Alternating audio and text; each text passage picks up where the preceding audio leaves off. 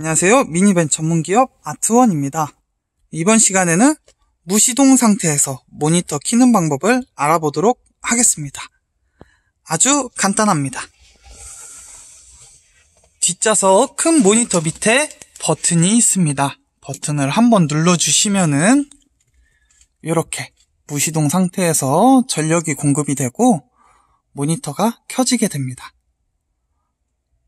그 다음에는 즐거운 글로벤 이용을 하시면 됩니다. 감사합니다.